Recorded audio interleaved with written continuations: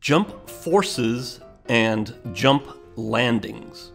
When you jump, you exert a downward action force on the ground with your legs, and the ground exerts a reaction force on you. That reaction force accelerates your body as you stretch your legs. You need to exert a force over some distance in order to gain speed to leave the ground, and the height of the jump depends on how much force you exert. The jump height also depends on the distance over which you apply that force, which we've been calling the push height.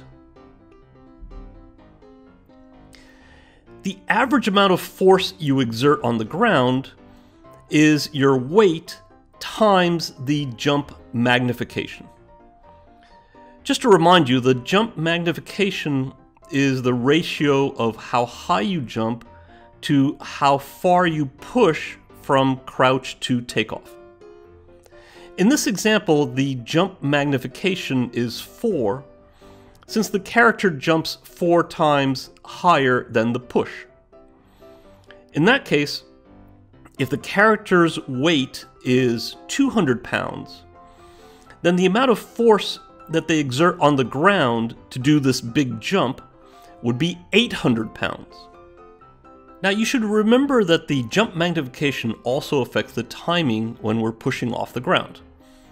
The push time, the number of frames from crouch to takeoff, depends on this jump magnification. Specifically, the larger the jump magnification, the shorter the push time. This means that the physical strength of a character is reflected in the timing of the push and as I said, that timing is set by the jump magnification. Suppose the character is a super, superhero with enormous strength like the Hulk.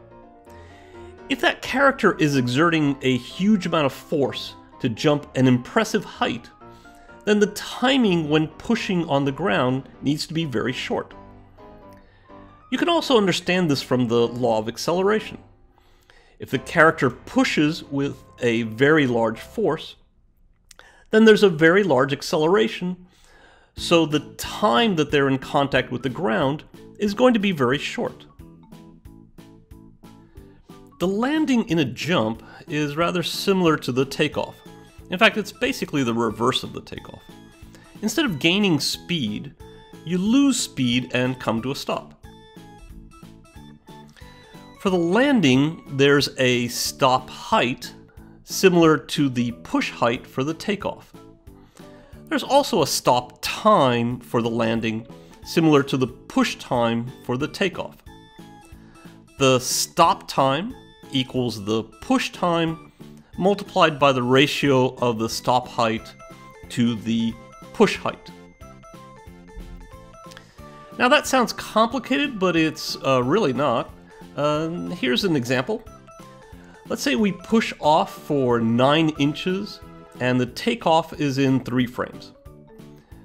Now, suppose the landing has a slightly deeper crouch of 12 inches, so it will take longer than 3 frames to stop. In fact, when you work out the math, you find that the stop time is 4 frames. The math that we just saw is not as important as the concept that the landing should be consistent with the takeoff. If the stop height is short, then the timing of the landing is going to be quick.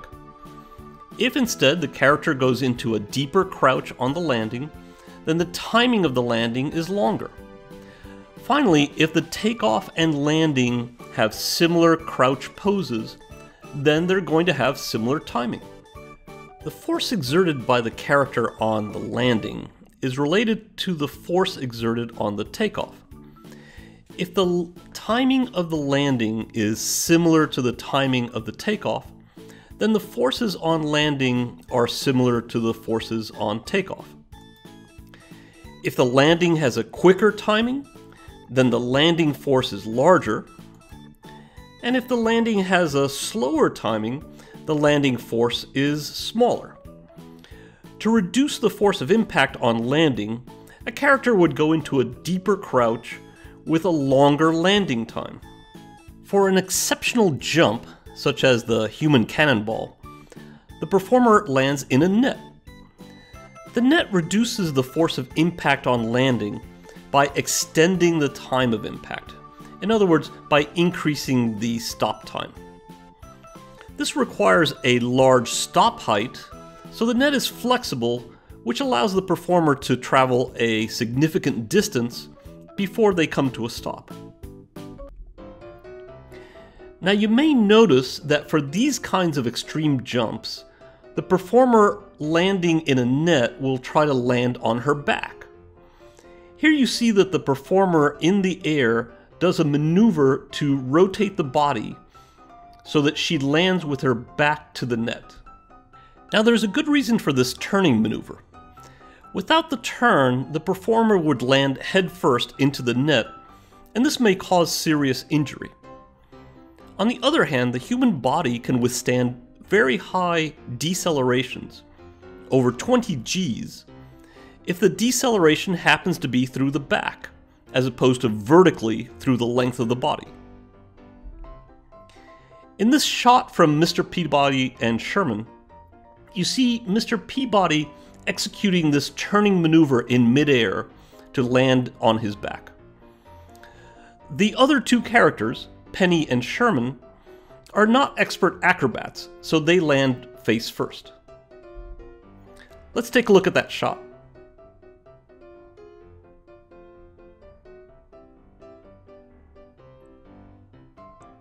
And one more time.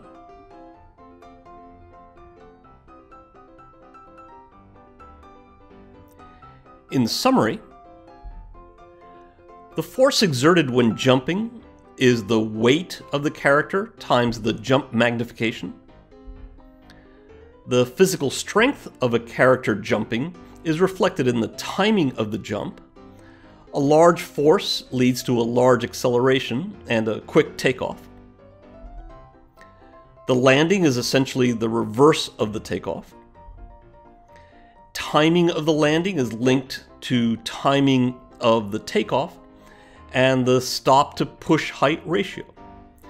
Increasing the stop height increases the stop time.